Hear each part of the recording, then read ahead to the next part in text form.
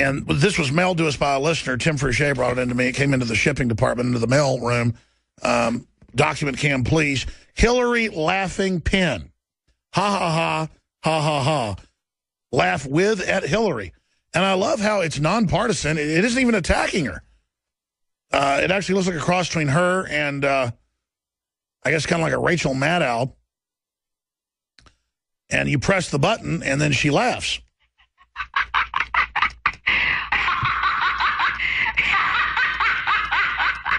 That's her when she does that laugh. I mean, she's so witch-like. It's not just that she's a corrupt globalist.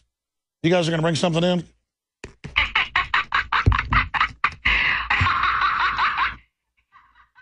Man, I tell you, she is creepy. We don't sell this at InfoWarsStore.com, but I think we should because it's really important.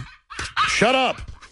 Really important to uh, denigrate these these people because they say she's a woman, you can't criticize her. I'll criticize anybody I want.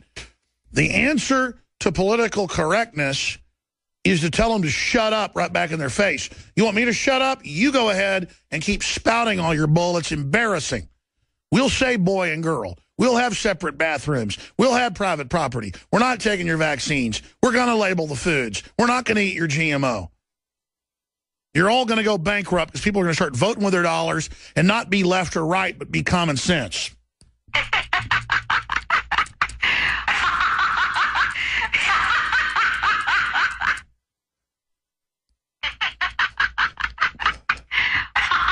Did you guys document cam on her?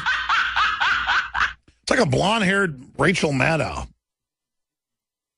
It does.